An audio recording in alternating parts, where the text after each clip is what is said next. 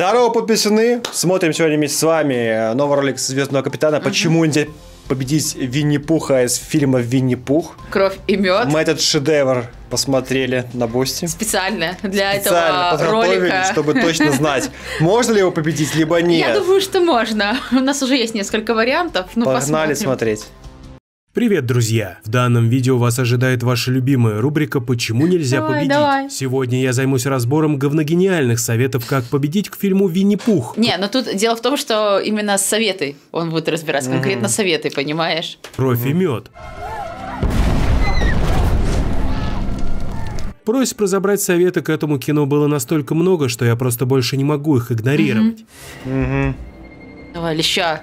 Ща. Ой-я. Что Это присаживайтесь просит. поудобнее. Сегодня вы узнаете, почему нельзя победить Винни-Пуха и его друзей. Только напомню, что я всегда исхожу из Его здравого друга. смысла и логики. Как вы понимаете, далеко не во всех фильмах о монстрах А, знаешь, что за ними летали? Я поняла, А, это Это пчелы. не мухи, это пчелы были. Блин, они так сделаны были, как будто Как будто какие-то мухи, бабочки. как будто воняет, знаешь, типа. Ну да, он такой, типа, такой ходит, вонючий, там они же не Тем моются, более в наверное, советах, особо. как победить, есть и кровью. то, и другое. Сценаристы иногда, ну, прям такие безды. В комментариях к прошлому «Почему нельзя победить» вы устроили настоящий бунт. Мол, почему советы были взяты не у Синема Самари? Он же самый забавный. Давайте сразу расставим все точки над «и». Я клером командую. А, это не отсюда. Я тут главный, и только я решаю, чьи советы как победить я буду разбирать. так вот. И сегодня я решил взять советы у Синема Самари. П- Да? Потому что, как бы, Потому да, что, ну, всем ясно. сказали. Нет, это он сам решил. Ты имбецил.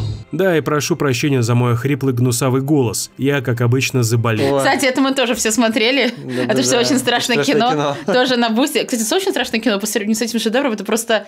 Ну там хотя бы это все Космос. высмеивается. Так Да. там оно- но- а в этом фильме оно не высмеивается, но выглядит так же. Да серьезно. Практически. Причем снято в 2023 году, минутку, знаешь. Понимающий бы там А в еще 1995, да, я бы да, еще сказал. ну, ладно, простительно. Ну это... Также в этом видео я не буду рассказывать подробно о способностях и слабостях гибридов. Хочу сделать на эту тему отдельный выпуск. Более того, как только сегодняшний ролик наберет 30 тысяч лайков, я сразу же выпущу «Почему нельзя победить» по фильму «Кровь и мед 2». Ой, вторая часть будет. Видишь, что же другие. Ну, Вторую смотри, часть я не осилю. ролика будет стандартная. Я Написали в комментарии, что она лучше, между прочим, Я- чем первая. Ну, и- Но уже после первой ничего не хочется вообще. рассказываю порцию сюжета, затем советы, как победить и их анализ. Итак, юный пиздюк Кристофер Робин встречает в Стоакровом лесу каких-то странных гибридов людей и животных. Он таскает им еду несколько лет. Затем Кристофер уезжает, а гибриды остаются одни. Они с голода сжирают ослика Иа, жестко дичают и решают отомстить Кристоферу Робину в частности, и всем людям в целом. Последний пункт они исправно выполняют несколько лет. Сразу вопрос, куда делись остальные гибриды? Почему Да. в фильме только Винни-Пух и Подожди, это спойлер, ты чё? Спойлер, в фильме их не будет. подбитыми на всю голову людоедами. Кристофер возвращается Да в лес через пять лет уже с женой. Находит Типа место, где он в юности играл с гибридами, но оно сильно отличается от его воспоминаний. Оно изменилось. Не может быть. Я помню его другим. Пара заходит в дом и слышит шаги. Они прячутся и дожидаются ночи, чтобы свалить. Однако на улице на жену Кристофера нападает пятак и ломает ей шею. Самого Кристофера ловит Винни-Пух. Время пришло гости отправиться. Какие советы по победе над гибридами по указанному фрагменту Ну, нам давайте. дают? Синема давай. говорит, что гибриды сами во всем виноваты. Типа, Кристофер нашел гибридов, когда они были подростками. Значит, они должны были как-то о себе сами заботиться до встречи А, с да. ним. А раз они прожили каким-то образом до знакомства с мальчиком, Ну, да. значит, у них были знания о том, как добывать еду и выживать. Так Нет, почему- так у них знания были, они, Они видимо, просто стали да- нахлебниками. Дальше как-то живут же, да? Нет. Просто они озлобились, что он ушел, наверное. Нет, они типа злобились, что он бросил, они из этого голодали. Но мне кажется, знаешь, Но это- потом же они приспособились. ну, начали... Ну, какой жир, пузо-то отожрал Ну, он себе. начал людей жрать. Нет, тут просто дело в том, что э, у них случилось такое понятие, как выученная беспомощность. То есть Да, для этого они там... да. Ты знаешь, вот когда ты вроде И все когда, знаешь, вот умеешь... берешь голуби да, домой, и, да, и кормишь его, там, поешь, ему так кайфово, он же не хочет, знаешь, на улицу вылетать и э, жить так спокойно. Да, там адаптироваться, Да. еду искать. И Ну, потом он поэтому так. такой, ой, а где еда? А я не знаю. Ну, это у них так и произошло. А То есть, прикинь, пох- если наш голубь тоже озлобится, что мы его бросили, тоже будет Там с ножом уби- такой убивать. убивать людей, На убивать, улице. убивать. Найден труп на, в городе Могилеве. Такой, Да. Значит, второе убийство голубя.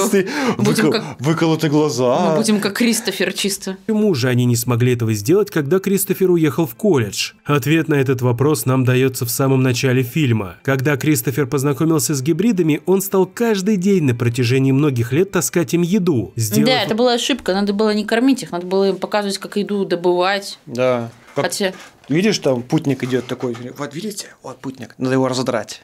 и сожрать. Поняли? Да. полностью от него зависимы. понимали. И когда паренек уехал в колледж, гибриды попросту не поняли, что им нужно делать и как добывать еду. Они привыкли, что еда каждый день появляется сама по себе. Ну, я же говорю, выученным с помощью. Пускайте самобранку ставить ему. Ага. Плюс почти Самосранку. сразу же после этого, через пару месяцев, как Кристофер свалил, наступила суровая зима, и, как сказали в фильме, Ночи были смертельно холодными, земля бесплодной, нигде не было никакой еды. гибриды съели ослика Иа и пошло-поехало. Этого следовало ожидать.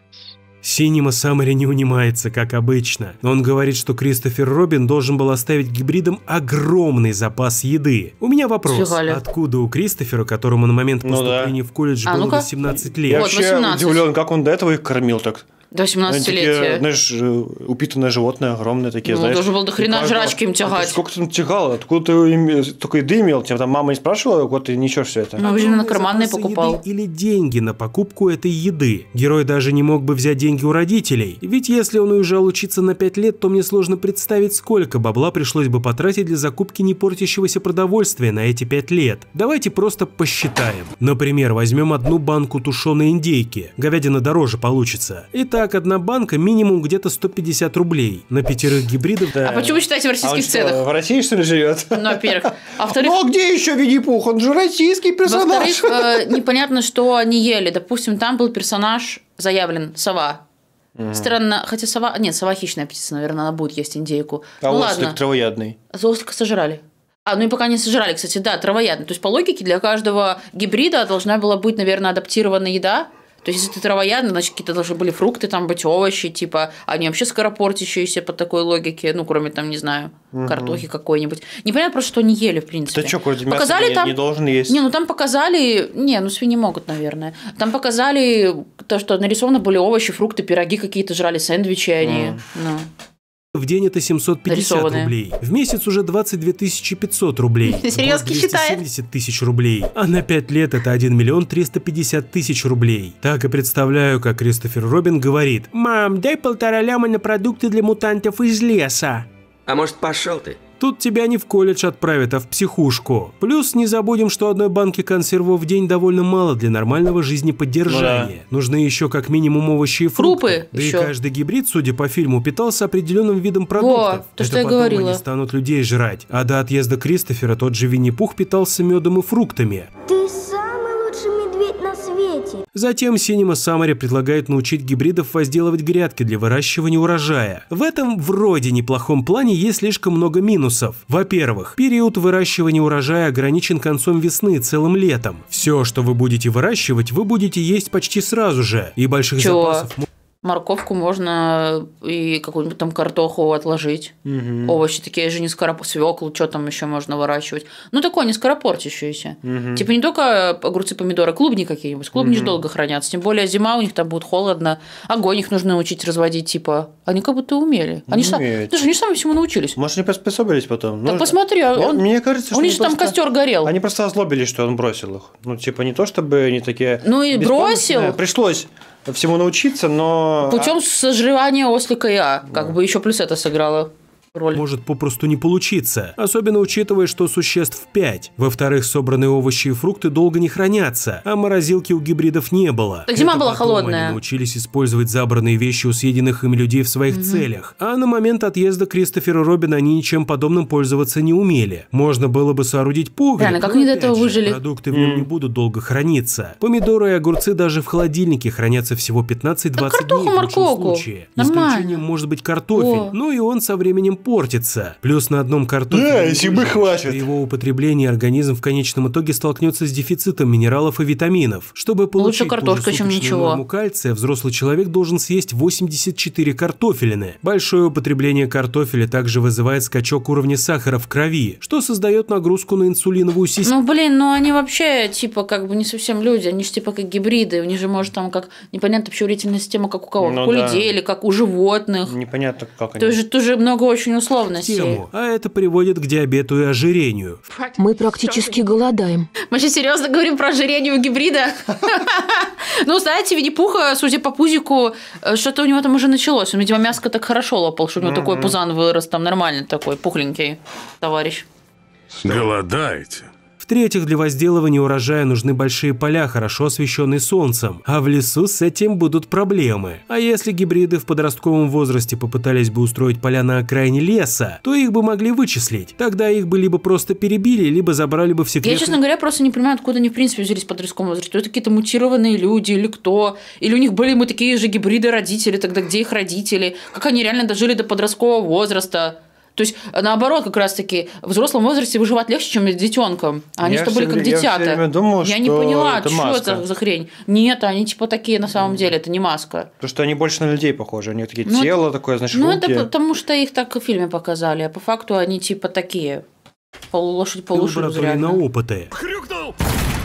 Лично я предложил бы Кристоферу обучить гибридов разведению кур. Одна несушка стоит порядка 500-700 рублей. Куры едят траву и насекомых, быстро плодятся, дают много яиц, и их самих можно есть. А зимой как? перьев делать одежду или те же подушки. Хотя вот тут все упирается в диету этих существ. Ведь в самом начале было показано, что они ели только овощи, фрукты, Ну, они вообще сыр, мясо не ели. хлеб. А на мясо переключились уже после зажустривания ослика и А. Но яйца они точно смогли бы кушать. Плюс Кристофер мог бы продать, например, свой велик или еще что-то ценное и купить Винни и его друзьям козу. Через интернет одну козу можно купить за 5000 рублей, а на ферме еще дешевле. Это бы позволило получать молоко. В рублях. Но тоже, опять-таки, это говорится молоко, как будто это легко. И У меня не было же таких животных сельскохозяйственных, но я так понимаю, чтобы коза тебе давала молоко, у козы должно быть хорошее питание. Да. Если ты на зиму ни хрена не заготовил ей нормально сена никакого, опять-таки, сено э, в Трава, лесу, а в пастись. А что в лесу вообще это, да? Где пастись в Травы лесу? нету, да. Пастбище должно быть какое-то. Да. Там какие-то кустики, авнюстики, не факт, что получится. То есть, как раз-таки бы она бы и сдохла бы у вас зимой первой. Вы бы ее съели, потом бы все равно бы голодали бы сидели. И, по сути, как вы ее ели бы? Я бы съел своего сородича, получается? Ну да. Если бы, ну, типа, хотя бы не я. Но они ж не В итоге я и съели. Не, ну они же потом съели в итоге я. больше как И люди. у вас открывается шерсти, что позволит выжить зимой.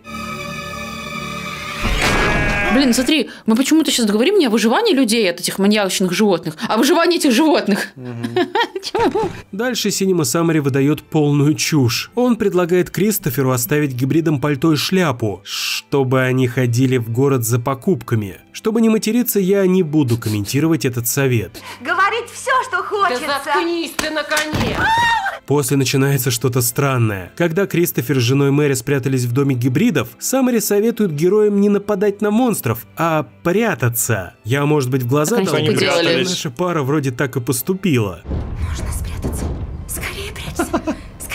Идем дальше. Когда Питак накинул цепь на шею жены Кристофера, Самари советует 40-килограммовой женщине броситься всем ее мощным телом назад и опрокинуть жирную тушу свина, масса А я советую в данном моменте, знаете, как там выглядело? Короче, стоит она, пятак ее типа душит, а ее муж... Не надо. Нет, он даже не трогал его, он просто стоит такой подальше. Пятак, хватит. перестань, пожалуйста, Питак, не делай этого, ее. ну не убивай. Питак, ты Ну, убил блин, ее, Питак. ну, Зачем ты убил ее, Питак? Какой ты плохой, Я Питак. любил А, тебя, Питак. Бежал, убегаю, пятака. Нет, пятак, нет. Это не надо, Питак.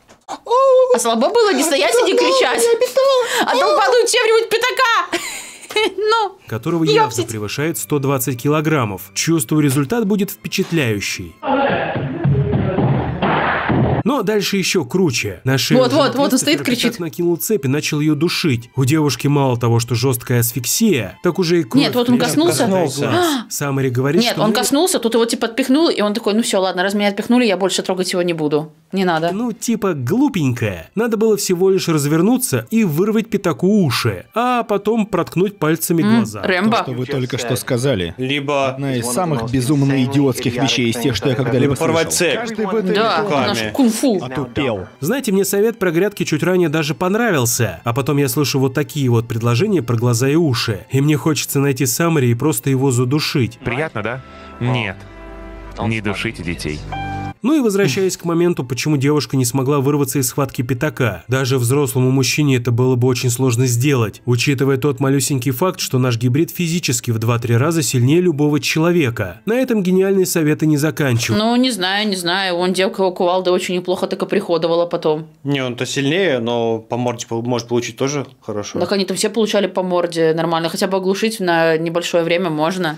Ну, там в фильме так было, они оглушали их. Когда Типа, Винни и Свинни загнали Кристофера в туннеле с коряк, заблокировав своими тушами единственные выходы, Синема Самари предлагает тощему герою кинуться на гибридов и в легкую забить их в рукопашную. В голове моей опилки, да, да, да. То есть дрыщавый Кристофер должен был своими кулачками загасить... Нет, двух знаете, какой там надо был совет? Там просто, на самом деле, надо было просто ходить быстрее. Да, просто бежать, бежать быстрее. Они бы не, не догнали Потому вас. что они вот так ходят. Они вообще весь фильм вот так вот ходят. Они что, могут постоять, такие подумать, что-то там пооборачиваться. И вот с такой вот скоростью примерно ходят. Просто ходить того, быстрее. больше него в два раза, так еще и сильнее. Тот же Винни-Пух в этом фильме неуязвим к физическому воздействию и обладает сверхъестественными силами. Почему бы хотя бы не предложить Кристоферу, раз уж он такой субтильный, пролезть между корягами? Расстояние там вполне хватит, чтобы он мог протиснуть свое тело. А Ты как вот знаешь, в этом мультике, когда такие решетки широкие, и ты такой, нет, нет, выпустите меня, не могу вылезти. гибриды тут пролезть уже не смогут. Но Саммери предлагает броситься на гибридов и сдохнуть. Проклятые твари!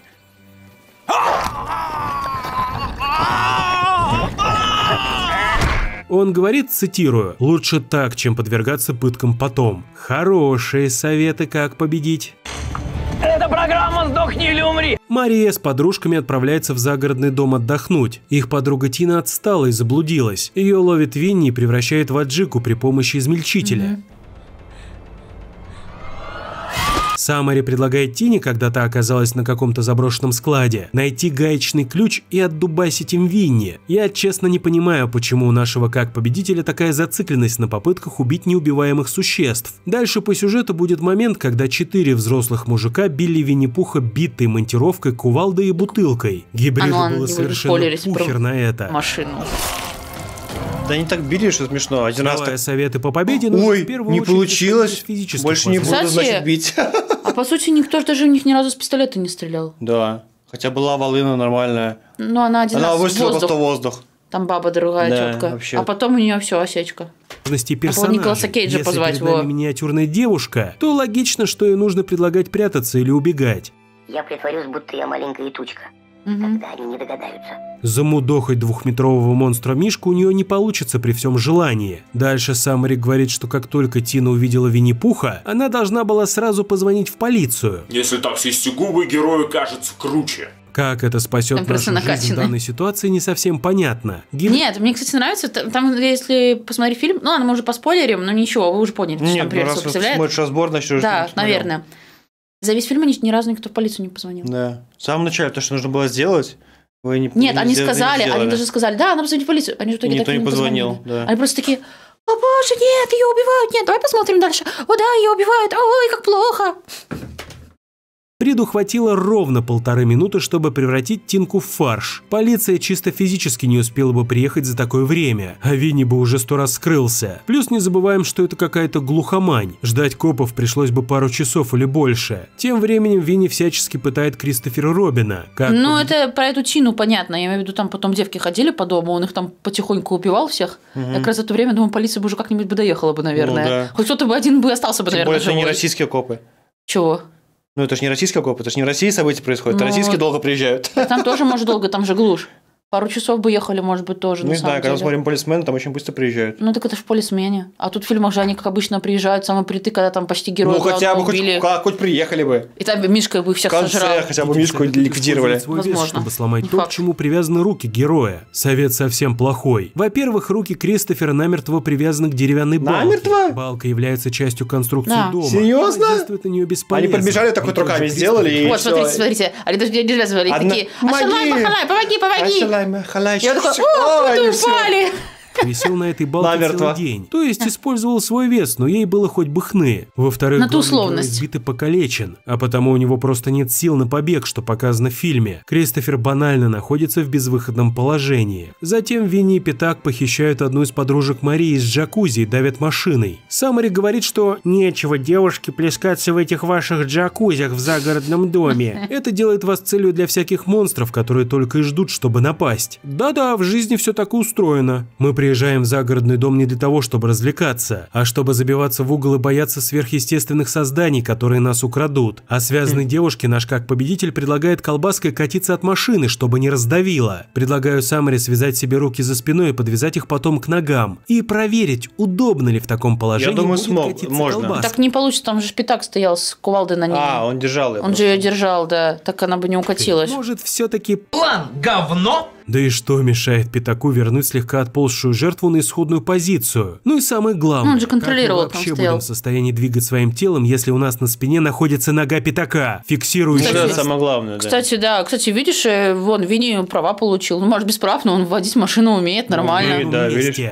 Говорят, такие И не животные не умеют ничего. Дальше приспособлены Винни к жизни. начинают Видишь, как преследовать остальных девушек. Свин выпиливает одну, а вторую похищает. Самари предлагает сесть в машину и свалить. Вопрос, какую машину? Тачка, на которой Винни переехал девушку из джакузи, принадлежала Тине. То есть Винни приехал на ней. И, следовательно, ключи мог забрать сам Что? принадлежала... Вопрос, в какую машину? Нет, другая машина. машину? Это другая машина, это маленькая машина. Тачка, на которой Винни переехал девушку из джакузи, принадлежала Тине. То есть Винни приехал А это BMW на ней, уже и, другая. следовательно, ключи мог забрать с собой. Так как Ну. героиня другая не пытается машина. воспользоваться машиной Это, походу, их машина. Так у них же их машина была, они же на одной какой-то тачке приехали в фильме нас Ну. смотреть. Нет, так Тина, в принципе, на них не доехала. Ну. В смысле? Тины, значит, ключей у них не было. А автомобиль, на котором они сами приехали в загородный А. дом, им пришлось бросить где-то на дороге и долго идти пешком. Так а до что за машина была? Это не это, смысле это не, малю- это не маленькая была машина. А почему они бросили машину и идти переезжала. пешком до места? А с чего взял это Звездный капитан? Я не знаю, что он взял. там было Они фильме так. к дому. Нет, они ехали, потом остановились на какой-то всратой заправке. Ну, Она нашла а какого-то поехали мужика. дальше. А Он говорит, ой, у вас тут бензин есть? Он говорит, ты что, видишь, тут колонки какие всратые? Он говорит, дальше заправка. А такая, а, спасибо. Ну, то есть, я так поняла, они просто заправились, дальше, доехали, машину припарковали и пошли пешком с Ну чемоданами да, до да, дома. приехали домой. Нет, уже какая-то И додумка. давил он Не не, было- на этой машине совершенно, не на маленькой. Там Нет, не на маленькой, на, Да. ну, так на машине. На их машине, походу, давил. Нет, так у них вообще был жук какой-то. У них же там- Нет, жук это было у этой, которую Ну. убили в самом начале. Нет, у меня была просто обычная машинка, а то у этих был Нет. Вот, Вот, она вот, едет. это, это они на Это это она приехали. едет. Нет, вот она вот едет. она едет. Ну, это Так маленькая это машинка. Тины этой. Ну, вот это она. Тинина машина? Да. Она А у них двух- какая двух- машина? Двухместная. Нет, это А у их них машина. другая была. Какая вот такая была? Нет. Это их была. в фильме. Поэтому вариант с У транспортом них вот это, походу, была. Не. Ноги гудят. Все в порядке, детка. Дальше Самари предлагает свою любимую тактику. Ну, типа, странно тогда. Они говорят, ноги гудят и бросили машину. Ну, типа, капитан показывает, что они шли пешком. Так там же же они сказали в фильме, что они до следующей заправки поехали. Ну. Так а как тогда? Получается, таки наляп. Ладно. Тут все в киноляпах. Пожертвуй другом. Он советует пустить в расход всех своих друзей. Просто так. Странный совет, учитывая, что девушки в фильме как раз таки смогли выжить дольше обычного, держась вместе и помогая друг другу. Когда Пятак полез Ну, в как держась вместе? Да, они только девушек, делают, что просто держались вместе вот так. Держимся Мы вместе. выживем, мы выживем, да, да, да. Смотри, мы Винни да. ходит, у тебя есть пистолет, стрельни в голову. Нет, подожди. Мы здесь! Нет, подожди, я не стрельнуть, я буду смотреть. вылезти из бассейна и бросить в воду какой-нибудь электронный прибор, подключенный к сети, чтобы поджарить свинину. Вылезти из бассейна идея-то может и хорошая, только вот беда. Блин, вот это так это эпично выглядело. Это была жесть. Она просто в бассейне, в котором, ну, она может... А нет, я не могу вылезти. И свин что делает? Свин такой просто, цепью по Да, воде А потом медленно плюхает. просто заходит к ней идет И супер медленно идет, а она не А может да- от него бежать. О боже, о боже! Я в ненитеновской жидкости! Я не Ньютон- могу двигаться! Ой, Он настолько медленно шел, это какой-то трэш вообще. Пятак гнал девушку в определенную сторону, Гнал? в которой не было дверей. Гнал? А расстояние по бокам было настолько блин, небольшим, полз. что гибрид мог бы с легкостью достать свою жертву длинной кувалдой. Но и не учитывая... Он даже мог в бассейн запускаться, в том-то и Но. дело. Длинный кувалдой мог. Она Он- стояла там вообще не двигалась в том бассейне. Ну, мог сверху просто тюкнуть молотком и девушки. Она все. не вылезла из бассейна и привлекала к себе пятака, чтобы увести его от своей оглушенной подруги, с которой у ней были определенные глубокие А взаимо... мне показалось, она не вылезла не потому, что хотела отвлечь от своей подруги, а потому что просто она тупица. Да. И все. Была. А в чем была проблема вылезти из бассейна и просто убегать от него и таким образом Да. заманить? Нахрена было в воде все это время находиться? Охрененное отвлечение. Что? Отношения. И как ты отвлекаешь таким образом? А по поводу электронного прибора, подключенного к сети, совет был бы хорошим, если бы Винни и Пятачок полностью не обесточили бы дом, прежде чем в него проникнуть. Дальше Да, по там сюжету и просто перестал педали девушку без крутить. сознания и уходят в свое логово. Мария находит у себя в комнате револьвер и идет спасать похищенную Находит подругу. случайный такой. Нет, мне нравится, там Она вот с фильме собой. гениально. Она, она взяла с собой. Нет, она говорит такая, «А у меня наверху есть револьвер, у меня, и как она говорит, пистолет. По- Потом пошла искать его, и такая, блядь, «О, я его где он?» нашла!» А, вот, нашла его. Я думаю, ты сумки разложила пару часов назад, И как вот ты не такую можешь... волыну с собой таскала, прикинь, таскает.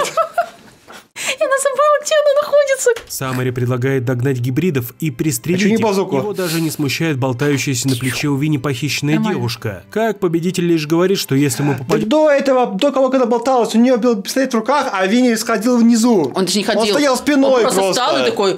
Самое то стрельнуть в голову сразу же. Нет, знаешь, что они делали? Но. Мы боимся, мы боимся, боимся. Ой, пошел, пошел, пошел. Ну все, уходим. Но.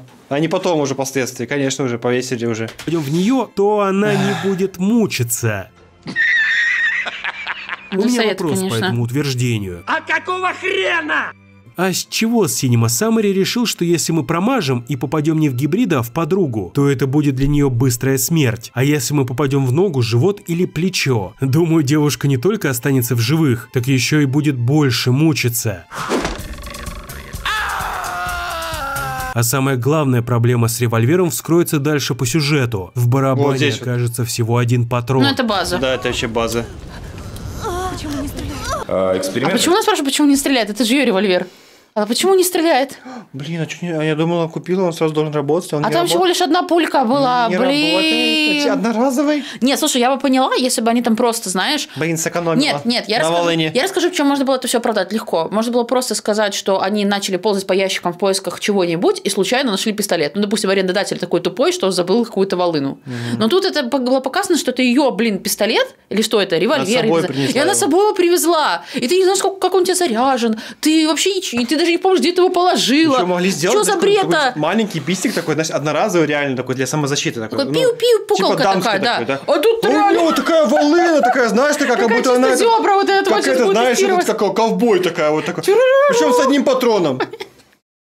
Которая она сама туда как бы... неудачный. Но она знать должна была. Маловато для уничтожения двух гибридов, один из которых Винни-Пух вообще неубиваемый. А тем временем Мария и еще одна девушка освобождает свою подругу. Затем умудряется спасти Кристофера умудряется. Действительно умудряется. пленницу. Мария Нет, пленницу они не спасали, ребята, там не так было. Короче, тетка привязана, и они такие подходят. Боже, кто, с тобой сделал? Кто с Нет? Это сделал Пятак Винни-Пух. и Винни. Капец, вот они, конечно, И жесткие. она все дальше висит, висит. Я думаю, а кто еще мог себе это сделать? Вы в логове маньяков, они за вами бегают. Вы что с одной из происходит? подруг убегает от Винни-Пуха, а оставшаяся девушка вырубает пятака и добивает его кувалдой.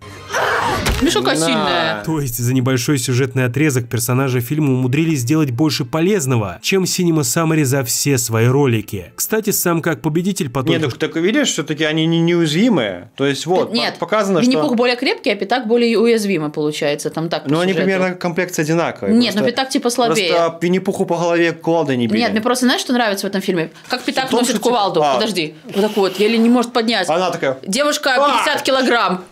На, получи, блин. Ну ладно, адреналин, али- адреналин что там у нее просто. части никаких советов не дает, а только лишь предлагает всех бросить или подставить в лапы гибридов, чтобы самому сбежать. А я напомню, что его ролик называется «Как победить Винни-Пуха». Я говорю, Но быстро ходить. реальность в данном случае несовместимы. О, смотри, побежал Но наконец-то. пойдем дальше. Винни-Пух возвращается в логово и выпиливает девушку, убившую пятака. А как он хлестал пацана волосами А, по спине. Так хлестал, как будто там, знаешь, саблей просто вырезал металлический какой-то вот такой вот кабель пруд, Это понимаешь? просто были волосы. Просто волосы в пучок связанные. Затем он продолжает преследовать оставшихся девушек. Они в какой-то момент Не, встречают... ну подожди, это фильм «Как победить», судя по советам из этого фильма. Это же не фильм а киноляп, потому что весь этот фильм – это один сплошной киноляп, понимаешь? Ну, такое максимально противоречие логике. трех деревенщин, которые вооружаются и Вроде нападают четыре на было чувака. Но Четверо. в итоге Винни сажает их всех на банку с медом. Затем он выпиливает подругу Марии и пытается заняться главной героиней, но его плющит машины Кристофер Робин. Выживает и добивает девушку. Конец фильма. Какие же советы нам дают по финальной части? Ну, Синема Саммари говорит, что ему начал нравиться этот Винни-Пух, и он даже не против встать на его сторону. Чего, блядь? И вообще... Ну, я, наверное, знаю про что он. Потому что персонажи главные были такие тупорылые. Наверное, он поэтому так и сказал. Я думаю, только поэтому. Не, на самом деле там все гениально себя ведут. Я даже там сидела и думаю, блин, за кого а болеть в этом почему фильме? Винни-Пух кожаный? Ну, Почему нету шерстки какой-то такой, легенькой такой хотя бы? Так у него даже, смотри, он себе макияж сделал татуаж бровей, ну, у него Да. брови нарисованы, видишь, как Татуаж, красавица. вот реально, глянь. Такой, хочу себе красивые бровы. Ну, его нельзя. Ну и все. Да. Что мы имеем по итогу? За весь ролик как победитель не дал ни одного рабочего совета Грядку. по победе над гибридами. Печалька. В общем, пошел я дописывать сценарий к новому ролику. Выйдет в течение недели. А пока М. подписывайтесь на мой Boosty. Там Мы, короче, на Boosty, напоминаю, посмотрели этот фильм. Ну, мы сразу да? говорю, что... Мы сразу все минусы нашли. Сразу. Не все? Как победить, мы сразу там разоблачили. Да, сразу мы- по ходу дела говорили, как его разоблачать. Как как, его как, их- побеждать. как их там побеждать, Да. как там правильно действовать. Эти все, «Э, зачем ты так ходишь? Мы же диванные что?» эксперты, Да. вы же понимаете, это же типичная вот. ситуация, естественно, с диванными Короче, вот экспертами. такая получилась реакция. Спасибо за просмотр. Пока. Хм, неплохо, неплохо. Можно и лайк поставить. А давай еще это видео посмотрим. А может лучше это? Сложный выбор.